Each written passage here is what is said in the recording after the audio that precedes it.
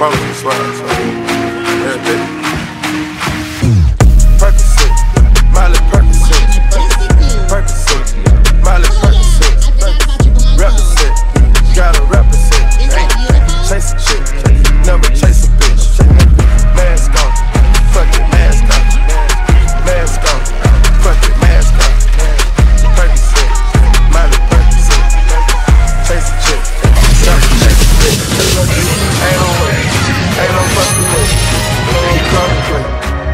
Come to play.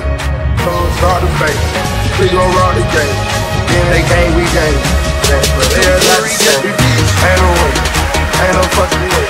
We come to play, we didn't come to play. No fucking way, ain't no way, ain't no fucking way. We come to play, we didn't come to play.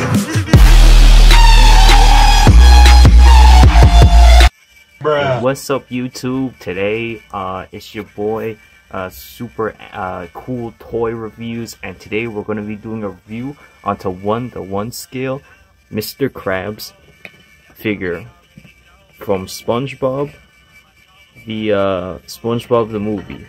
You know? This is uh my favorite character in the anime and uh I'm just gonna go through like what you get in this really cool figure. As you can see, it's very realistic, very uh, similar to when it was in the anime, and uh, yeah. So, uh, well, this is Mr. Krabs. If you guys don't know, he has uh, two claws. You know, he, he got some dirty shit because he uh he's piping up some Bruh. uh, and he's you know he's got that that red shell.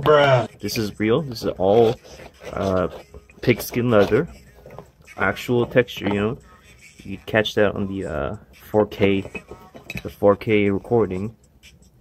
But uh, for articulation, you know, he's got he's got like uh, around 20 degrees on his claws. Uh, he's got some pretty good elbow flex. Uh, rotates up, rotates down, around uh, 90 degrees of rotation. Rotates in and out. It's a pretty wide range. As you can see, he's very flexible, and his uh, posability is very good. You know, oi, uh, SpongeBob, me boy, uh, give me your cash, me boy. Bruh. You know, so you could really, uh, you could really make use of how flexible this character really is. This model is really good.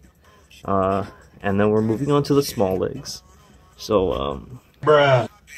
you can move in and out. Unfortunately, the side-to-side articulation is not very good because, as you can see, uh, these are kind of in the way. So, you get around maybe Bruh. one 120, a little bit more than uh, you would get with these because as you can see the joints that they use for these they're uh, pretty they're pretty uh, blocking in the way so personally I would have preferred joints like these these are very very wide range of motion however uh, to stay realistic to Mr. Krabs design in anime I understand that they had to use more closed-sided joints Bruh. and as you can see he's got uh, you know, eight of these claws total, these mini claws. Uh, moving on to the other joint, you get you get a very wide range of motion. Bruh. You can see that very wide range of motion, and then you got this little break here to give you side to side, little side to side jiggle, and then you got the claw on the tip. As you can see, the coloration is very good. Uh, I don't know how they do it, man. Namkai Bando really stepping up their uh, figure builds, and uh, the, the coloring right out of the box. Bruh. Uh, this is fresh out of box. I didn't have to do any coloring myself. Uh, I think it's pretty good. Uh, Bruh. unfortunately, you can see that his little antenna's been snipped off. So, unfortunately, that's uh, you know, a, couple marks off. But overall, I think this is a pretty good model. Uh, I paid around Bruh. 15 bucks for this, shipped from Japan. Um, I think it's pretty good overall. And uh, let's let's let's really get into this, shall we? let's uh, let, let, let's take it apart.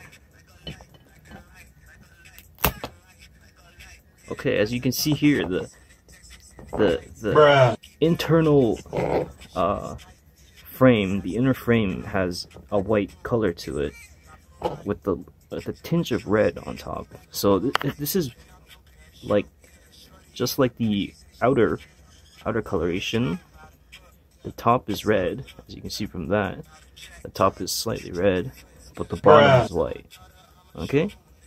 Um so obviously if you're gonna really flex it back, you gotta be careful because uh I kinda popped it out, but that's kinda what I was going for, so you gotta be careful with these models because for as good as the coloration is, uh, the model just doesn't have very good flexibility. Um, Bruh. Let's see. See if I can.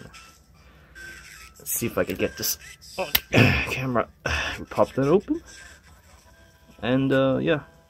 So just like the other part, this piece is uh, a lot of. This is the um. I think this is the rubber.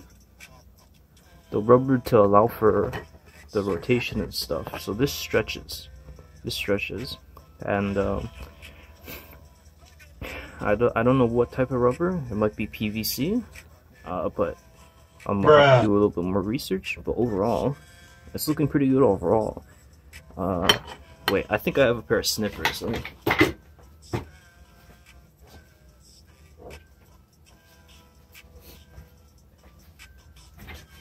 So for the claws, because you can see how thick these are. These are pretty big claws. Uh, they're probably maybe like 10 times the size of one of these, just in terms of volume, you know, because these are pretty thick. This is pretty thick. This is pretty thin, thin little boys. Uh, but I'm gonna have to crack these open and let's let's see how good these really are. Okay, so go like that. My snippers to the side, and uh, as you can see, that, Bruh. coloration is really good. Now I don't know how they do it. I really don't, but that's all red. Looks like the the painting that they used penetrated the first surface and went on to the second surface.